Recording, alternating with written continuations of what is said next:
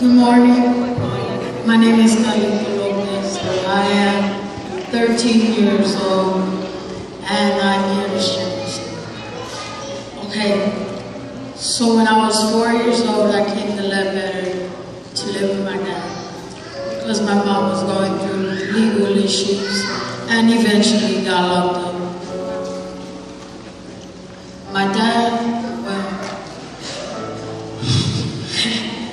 He was working nights at the time, so the only people I was with and raised by were my grandparents and my my dad exposed me to his street life, like drug dealing, drinking, partying, women coming in and out of the house. My dad and I shared. Well, really wasn't sharing because I slept at night and he slept in the morning. My dad put me in baseball, and I almost always had a baseball game. I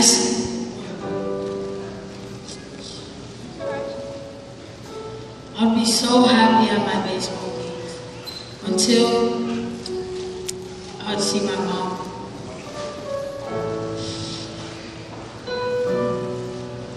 Seen her there, my mood went from joy to anger.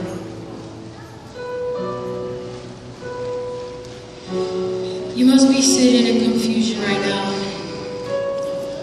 because of what I said.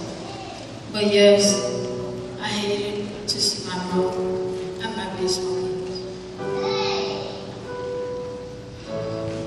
Most kids would love to see their parents that they don't have just to be by them, you know.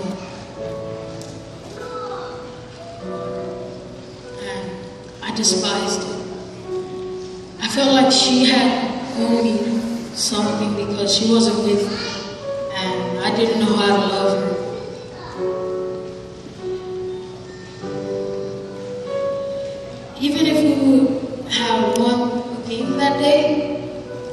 Always came back home in defeat.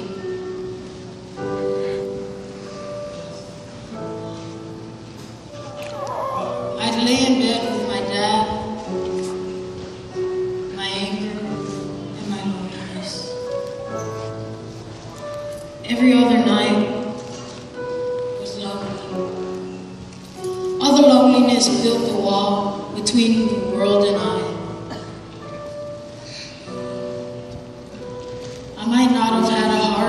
my mom, but I had respect towards her because she didn't know I hated to see her at my baseball games. I always gave her my utmost respect.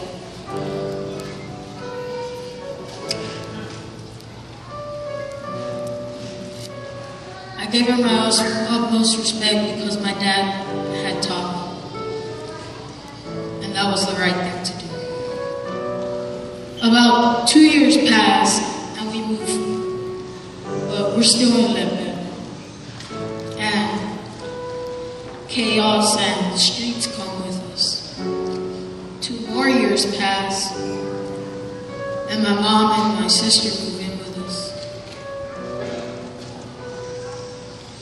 Then my dad and I got invited to church from my dad's friend. So we went and we kept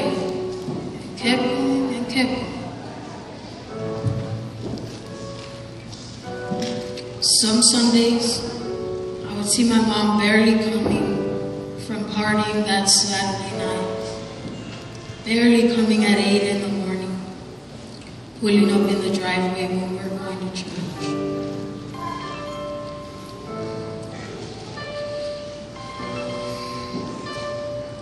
My dad sat me down and asked me to forgive him for all that he'd done to me.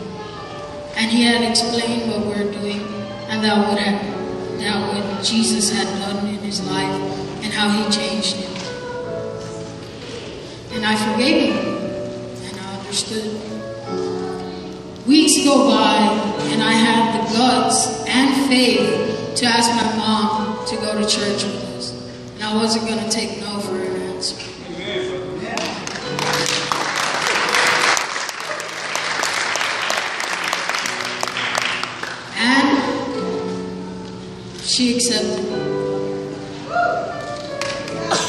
I soon accepted Jesus Christ as my Lord and Savior. And my mom rededicated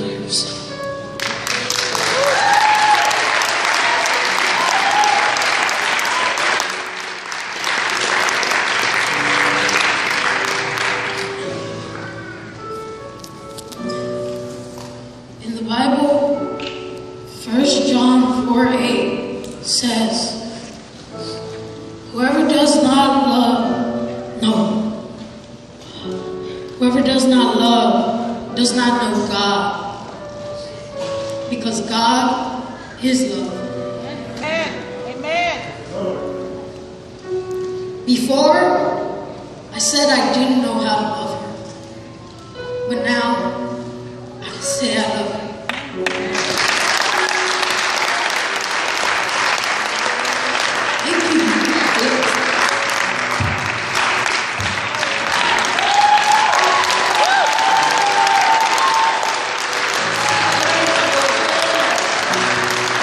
Jacob. And. This is his mom right here.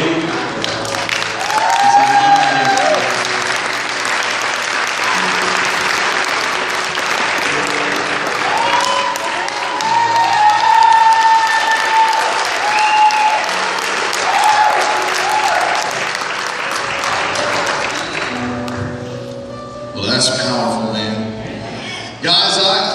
Just, I'm blown away as I've been meeting people throughout the day, hearing the way, seeing the way that God's working. And uh, man, it's encouraging to see a community come together. It's encouraging to see people blessing one another. But I'm telling you, when we look at how God is working in lives, that's, that's the greatest thing.